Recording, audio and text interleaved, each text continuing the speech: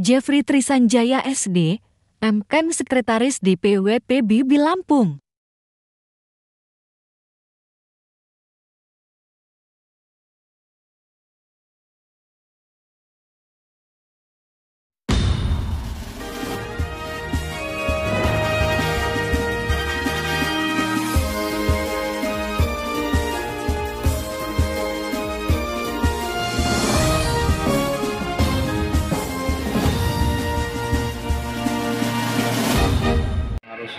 Membentuk itu sampai ke anak cabang kemudian kita merekrut eh, anggota-anggota partai dengan eh, menjalankan semua yang sudah diarahkan oleh DPP seperti itu. Itu yang kita rapatkan untuk hari ini ya kita koordinasikan seperti itu.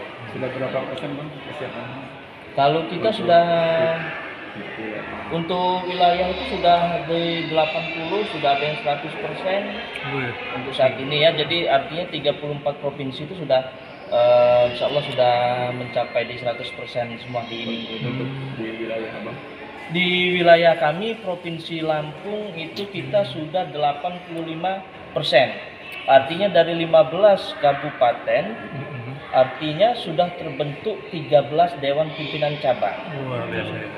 Ada hambatan, rintangan dalam Kalau hambatan itu pasti ada lah ya, namanya kita eh, bukan hanya Partai Bulan Bintang saja, ada organisasi politik yang lain ya, tapi kita di Lampung tetap eh, menjalankan tugas dengan sebaik mungkin, arahan DPP kita ikuti sehingga ya kendala-kendala di lapangan itu sedikit bisa kita atasi. Untuk suara ini bang, suara ka- anak-anak muda gimana nih yang akan Milenial, Bang? Ya, kalau kaum milenial insya Allah sudah kita ini ya di Lampung itu sudah 81 persen milenial pemilih pemulanya, kemudian kaum kaum milenial lainnya, eh, komunitas-komunitas itu sudah eh, kita rangkul di PBB dari teman-teman pemuda Bulan Bintang di Lampung.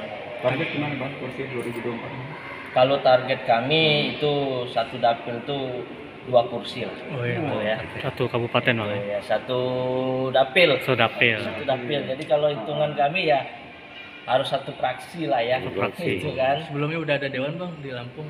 Di Lampung kita